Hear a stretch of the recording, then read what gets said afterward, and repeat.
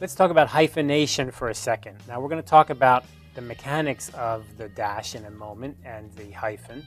But let's just begin with compound words can be written as. So if you have words that are basically two words being brought together as one word, how can you do it? Well, you could write them as two words. You could write them as one word with a hyphen. And you could write them as one unbroken word with no hyphen. Here are some examples that you've probably seen. Follow up, follow up, or follow up, right? So what do we do in this case? Again, check the dictionary to see which one is appropriate, and we're talking about the Webster's Collegiate Dictionary for, for uh, college students and writing research papers. This is the go-to dictionary. Follow up when a noun or adjective is used. Follow with the hyphen there. So this is hyphenated here. You can see that. If it's a noun or an adjective, follow up when it's a verb. You see the space there? So you're going to do something, follow up. This is generally the rule of thumb to use, that if it's a verb, an action, then you need to separate them into two words. However, if it's a noun or adjective, you can put them together by using a hyphen. Two or more words that express a thought is a compound word, or what we call a temporary compound. Temporary meaning that's not really a word that goes together this way, but you're using it in your research for this special situation, this kind of special case. If a temporal compound, temporary compound precedes what it modifies, then hyphenate it. If it follows what it modifies, then do not hyphenate it. It's easy to say, but let me see if we can think about that for a second when we have some examples. So if a temporary com compound word precedes what it modifies, you go ahead and hyphen it. And if it comes after, then you don't hyphenate it. And here is an example we have trial by uh, trial by trial analysis. Boy, this stuff is confusing, isn't it? Trial by trial analysis. So I have a trial, then another trial. I'm trying. I'm trialing the trials, trial by trial. So in regular English, this should be kind of easy: trial and then a trial. But because it's a special situation in our research, we want to put these together. We're referring to one thing, this one thing we've done. Now, this one thing we've done has many parts, but it's still one thing. So we can say trial by tr trial by trial, and then it's an analysis, right? So if it's an analysis, then in this case, our temp temporary compound word comes before, and we can go ahead and hyphenate it.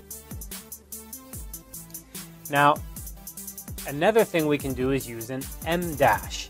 Now, an em dash is not a hyphen, and you can see here it's it's a little bit different, right? You can see that it's a little bit longer. You see that? Now we talked about this a little bit in, in part one, I think. But in any case, you can see here that we've got an em dash at the beginning and em dash at the end of a of a non-restrictive kind of adjective clause. Studies are included. And then we have this little explanation here. Studies published and unpublished are included. An en dash, please pay attention here, EM and EN. N dash is longer and thinner than a hyphen and shorter than an em dash. Boy, it's getting confusing, isn't it? And here's an example. Used between words of equal weight in a compound adjective such as this. Chicago London flight, meaning Chicago to London flight. And then we also have a minus sign, don't we? And a minus sign is the same length as an en dash, but it's a little bit thicker and slightly higher. Now, when we look at that, we say this is a little bit longer, that's a little bit shorter, this is a little bit thicker.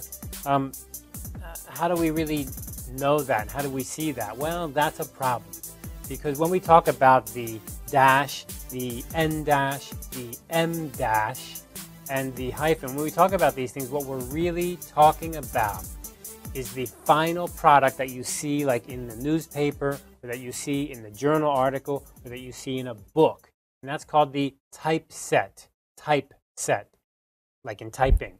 But it's not just typing, it goes to the official publisher, and they have special type sets. They have special machines that typeset this stuff.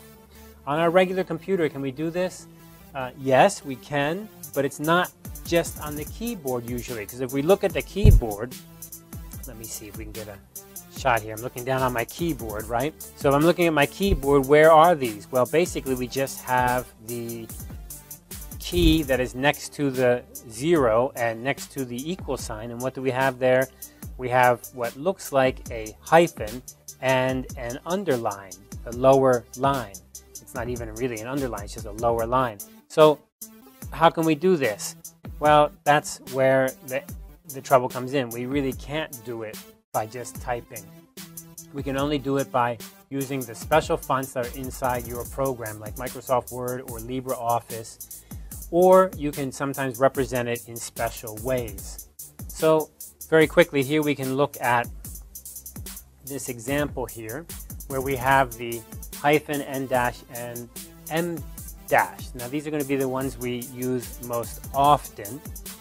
And you can see the hyphen is short and kind of a little bit fat, pudgy.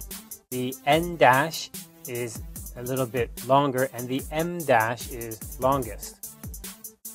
Well, how do we do that when we're writing? Again, when you type on your typewriter or when you type on your computer keyboard, the one you're going to be typing is always going to be this hyphen one.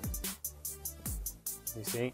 So, uh, what do we do? Well, we can use two hyphens together to make a dash, but then which dash is it? Is it the en dash or the em dash?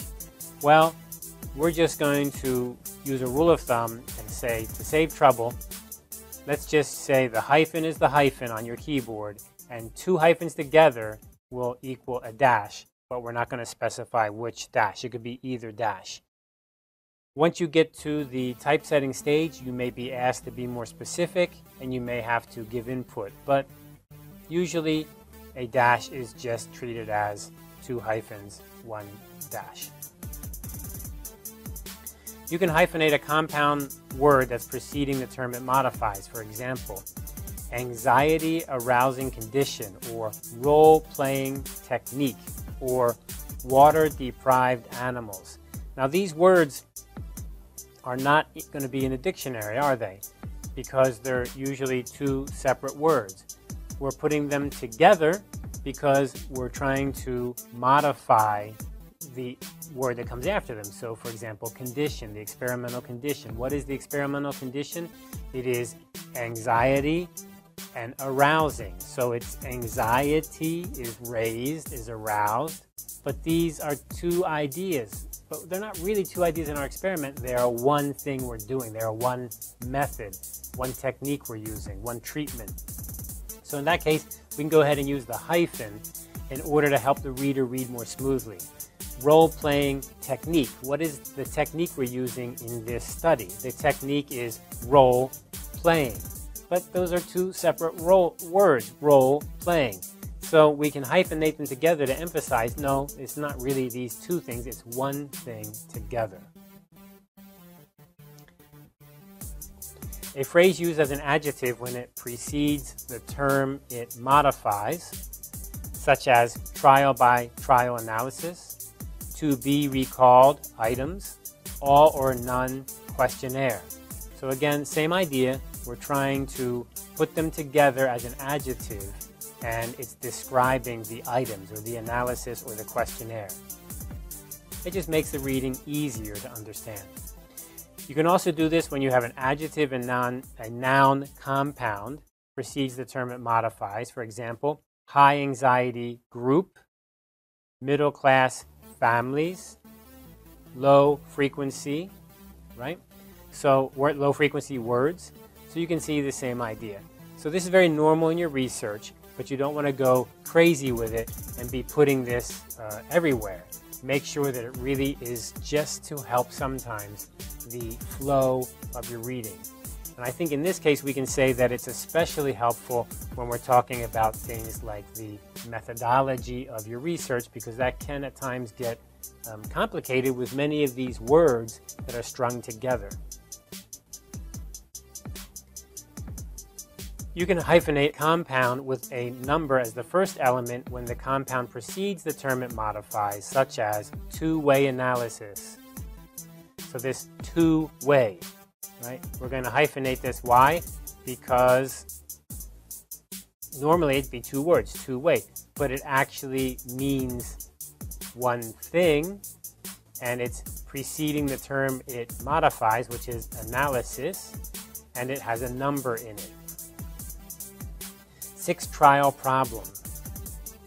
12th grade students, right? Who are the students? They are the students in the 12th grade. But we don't want to really separate this out and make it unclear. We want to just put it together. This is one thing. 16 second interval. S here means second. 16 second interval. And also when you use fractions. So for example, two-thirds majority. I'm going to stay with that right there. Now, could we write this as two-thirds? No, we're going to write this out and we're going to learn why in the next unit of our class. But today, let's just focus on this idea of the hyphen here. So two-thirds. This comes before what it's modifying, so it's basically one thing. A two-thirds majority. Do not hyphenate in these cases, such as a compound including an adverb ending in ly. So widely used text or relatively homogeneous sample.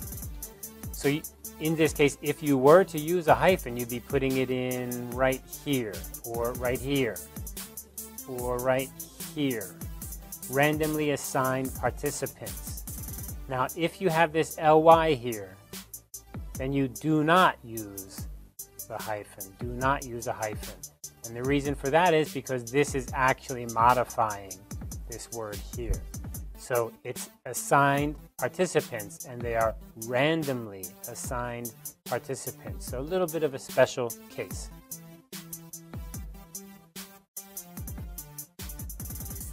A compound including a comparative or superlative adjective such as better written paper, less informed interviewers, higher scoring students. So it's similar, but here what we're doing is we're saying again, higher, and this has its own meaning. So yes, it is higher scoring this kind of one group, but this is modifying this idea. Less informed, better written paper. So you do not use a hyphen in this case because you're comparing things, comparative words. Higher order learning, for example. Okay, now let's move on to another special case. Ah, too many special cases. I know it really drives me crazy too, but there you are hyphen in the word meta-analysis. Now, why do I bring this one up? Because this is a special case that you will often see. So meta-analysis and quasi-experimental. In this case, probably the meta and the quasi, which means not real. This is like a kind of semi-experiment, not a true experiment with control groups, etc. And meta-analysis, meaning we have many analyses together and we're analyzing them as a group together, collecting their data. This should fall under this case of the comparative because it's a meta-analysis. This is actually modifying this, and this is actually modifying this. But in this case, we do use the hyphen because it's, it's like I say, a special case. It's accepted, and we often use these words. So if you use the word meta analysis together, make sure you use the hyphen, and quasi experiment, make sure you use the hyphen. Do not hyphenate chemicals such as sodium chloride solution, amino acid. You do not put a hyphen in there. If you have foreign phrases and adjectives or adverbs such as post hoc, posteriori fest, you do not hyphenate these. So again, check the dictionary. That will help you a lot do not modify uh, if the modif do not use a hyphen do not hyphenate do not use a hyphen if the modifier including a letter or number such as group B participants type 2 errors.